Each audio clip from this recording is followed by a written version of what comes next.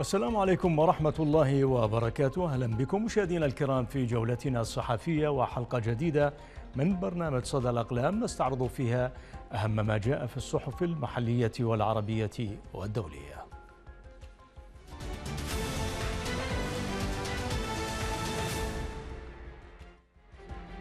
نبدأ مشاهدينا الكرام من صحيفة طريق الشعب إذ تناول جاسم الحلفي قضية الاحتجاجات المطلبية التي تعبر عن معاناة الشعب العراقي وتجاهل الحكومة المستمر للاحتجاجات وهو ما يعكس مدى الفساد وعدم الاكتراث بالمعاناة الشعبية.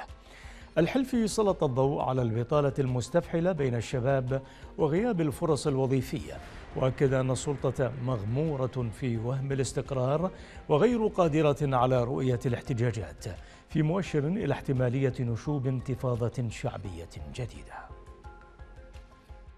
عادت مجددا الوقفات الاحتجاجية المطالبة بفرص العمل بوتيرة لافتة رغم أن إعلام طغمة الحكم يتجاهلها فإغماض العين عنها لا يعني عدم وجودها وإنما هو مجرد محاولة لإنكارها كونها تذكر المتنفذين باستحقاق الكرامة الذي يتطلع إليه الشعب. والمتنفذون لا يرغبون طبعا بسماع أي مطلب يخص المواطنين وهم لا هم لهم سوى الاحتفاظ بالسلطة والانتفاع بها. كما أنهم لا يدركون خطورة تداعيات البطالة واستفحالها في أوساط الشباب غارقين في وهم سيطرتهم على السلطة دون معارضة تهز عروشهم. بعد أن أحكموا قبضتهم عليها وبعد أن غابت إزعاجات المعارضة الرسمية لهم. فيما المعارضة الشعبية الجذرية تمر بنوع من الوهن.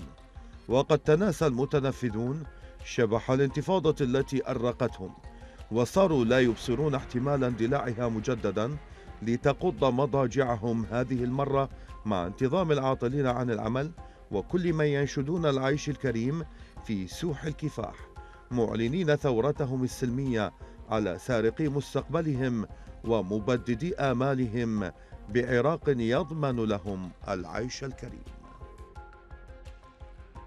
ونقرأ مشاهدينا الكرام للكاتب نوزاد حسن مقانا في صحيفة المدى طرح فيه مشكلة أخرى ناتجة عن الفساد والإهمال الحكومي وهي قضية بناء البنية التحتية كجسور المشاة. إذ يروي الكاتب كيف أن الطلاب في ديالا يطالبون ببناء جسر لتجنب الحوادث وهو ما يعكس الإهمال الحكومي للمتطلبات الرئيسة والأمان العام. وهنا يذكر الكاتب الفجوة الواسعة بين احتياجات المواطنين البسيطة واستجابة الحكومة البطيئة أو المعدومة. ويختم الكاتب بالتعبير عن الخوف من أن تستمر هذه الدورة من الإهمال حتى يحدث مكروه يستدعي الاهتمام ولكن بعد فوات الأوان. هناك قصص تحدث يوميا لا يمكن تصديقها. قصص المسؤول عنها غائب ومطمئن أنه غير معني بما يحدث. من هذه القصص تظاهرة لمجموعة من طلاب إحدى الكليات في ديالا. يطلبون من الجهات المعنية أن تقوم ببناء جسر يجنبهم التعرض للحوادث لا سيما وأن إحدى طالبات الكلية قد تعرضت لحادث دهس كاد يقتلها. لذا انطلقت مظاهرة للطلبة من أجل تشييد جسر لا أظن أن تكلفته ستكون كبيرة.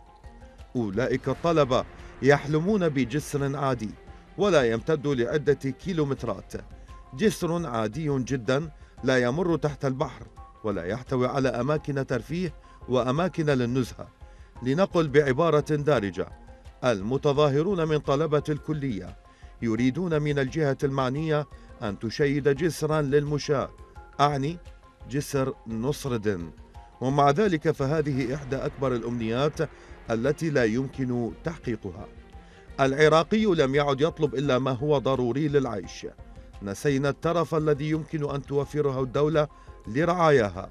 لا نريد جميعا إلا ما يجعلنا في مأمن من الجوع والمرض والحوادث. إن مثلث الموت هذا يحاصرنا ويخطف منا يوميا ضحايا وضحايا. إلى صحيفة الجارديان التي نشرت مقالا للكاتبة الصحفية الكندية اليهودية نعومي كلاين.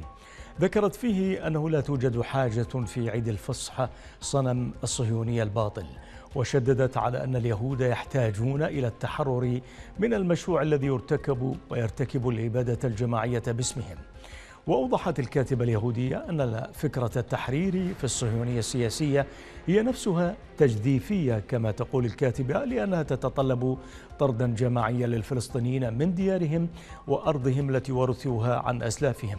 وهنا تؤكد أن هذا الصنم الباطل الصهيونية يسوغ قصف كل جامعة في غزة وتدمير ما لا يحصى عدده من المدارس ومراكز الأرشيف والمطابع ودور النشر وقتل المئات من الأكاديميين والصحفيين والشعراء. ما أريد أن أقوله لكم هذه الليلة التي تشهد في الشوارع والطرقات احتفالية عيد الفصح التاريخية. هو أن الكثيرين من أهلنا عادوا ثانية لعبادة صنم باطل تجدهم منتشين به ثميلين عليه مدنسين به. وهذا الصنم الباطل يسمى الصهيونية. إنه صنم باطل يأخذ حكاياتنا التوراتية الأكثر عمقا وتأثيرا حول العدالة والتحرر من العبودية. حكاية العبور عيد الفصح ذاتها ويحولها إلى أسلحة وحشية لممارسة الاستعمار والنهب. ولرسم خرائط الطريق نحو التطهير العرقي والإبادة الجماعية. فكرة التحرير في الصهيونية السياسية هي نفسها تجديفية فهي تتطلب من البداية طردا جماعيا للفلسطينيين من ديارهم وأراضيهم التي ورثوها عن أسلافهم وهو ما حدث في النكبة. في هذه الأثناء في هذه المدينة تستدعي الجامعات شرطة نيويورك لتحصن نفسها من التهديد الخطير الذي يشكله نفس طلابها الذين لديهم الجرأة على توجيه أسئلة أساسية مثل كيف يمكنكم أن تزعموا الإيمان بأي شيء على الإطلاق؟ بما في ذلك الإيمان بنا نحن.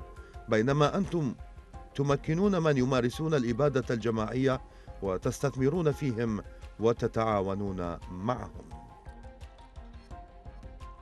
في مقال لصحيفة نيويورك تايمز كتبه تشارلز بلو يشير إلى تجدد النشاط الطلابي المناهض للحرب في الجامعات الأمريكية مشبها إياه بحركة الاحتجاج ضد حرب فيتنام في حقبة الستينيات. هنا يلحظ بلو أن هذه الحركات الجديدة التي بدأت في جامعات مثل كولومبيا تعيد إلى الأذهان تلك الحقبة. عندما تصادم الطلاب مع السلطات في أثناء المؤتمر الوطني الديمقراطي في شيكاغو عام 68 من القرن الماضي وذكر الكاتب أن الاحتجاجات الحالية تدار بروح مماثلة لتلك التي حدثت في أثناء حقبة الستينيات من القرن الماضي إذ يعبر الطلاب عن استيائهم ورفضهم للظلم والحروب بتجمعات وتظاهرات في الحرب الجم في الحرم الجامعي. مستفيدين من الحرية الصيفية لتكثيف نشاطاتهم الاحتجاجية. الشباب على وجه الخصوص. يتابعون الحرب بين إسرائيل وحماس على وسائل التواصل الاجتماعي ويشعر الكثيرون بالرعب مما يرونه لقد نشأوا أيضا مع الحركات الاحتجاجية. احتلوا وول ستريت وحياة السود مهمة وحملة باركلاند بولاية فلوريدا وحملة السيطرة على الأسلحة الطلابية كخلفية لحياتهم. دعا أكثر من ألف قس أسود الرئيس الأمريكي جو بايدن إلى الضغط من أجل وقف إطلاق النار في غزة. ونحن نشهد انتشار الاحتجاجات المناهضة للحرب عبر حرم الجامعات وكما حدث في عام 68 وتسعمائة وألف. سينتهي الفصل الدراسي قريبا وسيغادر هؤلاء الطلاب للصيف. ما يتيح المزيد من الوقت والطاقة لتركيز جهودهم على المؤتمر الوطني للحزب الديمقراطي في شيكاغو في آب أغسطس. وفقا للكاتب ويعتقد كثيرون أنهم يشهدون إبادة جماعية بمساعدة وتحريض من رئيس أمريكي دعموه. إنهم يشعرون بأنهم متورطون شخصيا في صراع يستمر فيه عدد القتلى في الارتفاع دون نهاية في الأفق.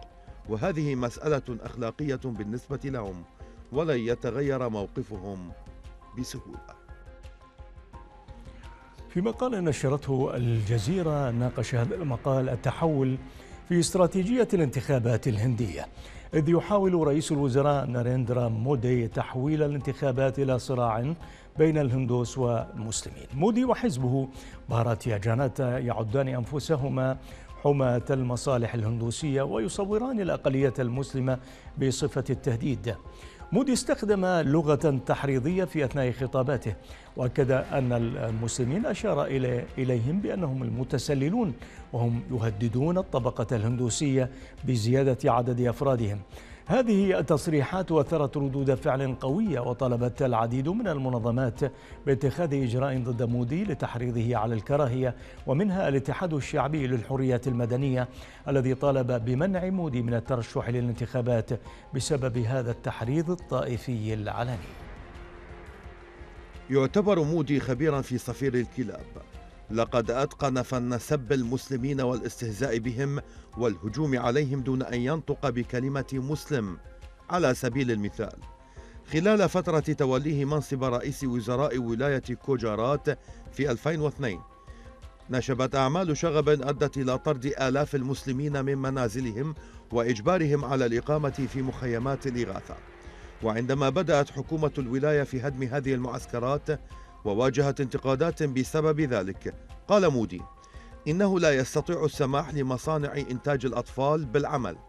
وفي خطابه الأخير أشار مودي بشكل مباشر إلى المسلمين على أنهم أولئك الذين ينجبون المزيد من الأطفال والمتسللون مما أثار نظرية مؤامرة شريرة مفادها أن المسلمين غرباء ويهدفون إلى التفوق على الأغلبية الهندوسية. ومن الواضح أن رئيس الوزراء يلعب لعبة خطيرة إذ يحول الانتخابات إلى حرب بين الهندوس والمسلمين. ويشعر بعض المحللين أن حزب بهارات يا جانتا أصبح يائسا لأنه لم يتلقى الدعم المتوقع في المرحلة الأولى من الانتخابات.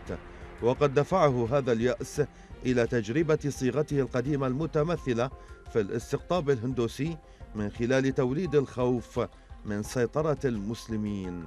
على الهند.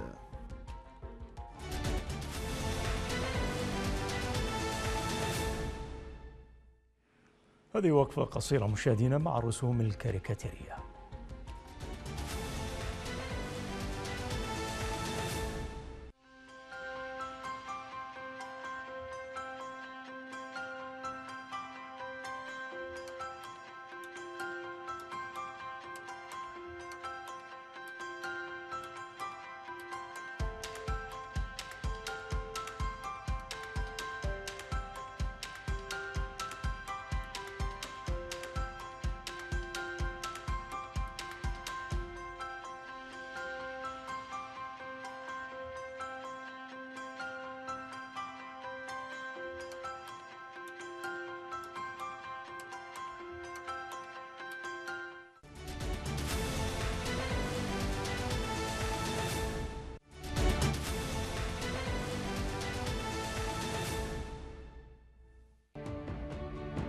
بلا جدران تقيهم حر الصيف وبرد الشتاء. أخرجوا من ديارهم غائبون لا صوت لهم. وبلدهم يطفو على بحر من النفط تصارع أكفهم قسوة الحياة. هدموا كل ما هو جميل وأساءوا لحاضرة الدنيا. حتى استغاث منهم تراب الرافدين. لكن أحفاد ثورة العشرين سيكسرون القيد. ويبذلون المهجة ويعيدون الحياة.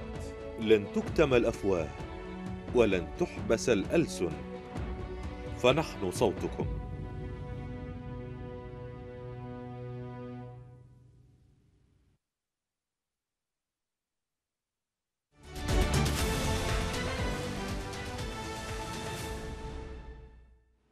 قال مدير المكتب الإعلامي الحكومي في غزة إسماعيل الثوابتة إننا نؤكد إعدام جيش الاحتلال مئات النازحين والجرحى والمرضى داخل مجمع ناصر الطبي بمدينة خان يونس وأضاف الثوابتة أن الحديث الذي يحاول فيه الاحتلال الهروب من جريمته في مجمع ناصر الطبي حيث عثر هناك على مقبرة جماعية هي تمثل أكاذيب لتضليل الرأي العام وهناك العديد من الأدلة على ذلك.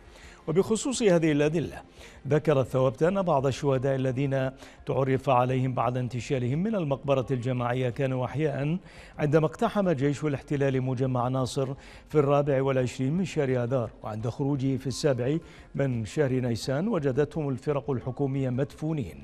وهذا الأمر أكده ذوي الشهداء الذين كانوا على تواصل مع أبنائهم قبل اقتحام المستشفى.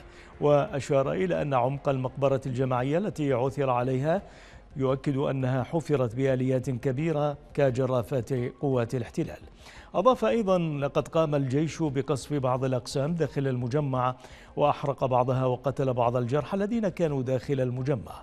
ثم ارتكب جريمة ضد الإنسانية باقتياد عدد من الأطباء وأفراد الفرق الطبية من مجمع ناصر الطبي إلى جهة مجهولة وارتكب جريمة الإخفاء القسري ضدهم.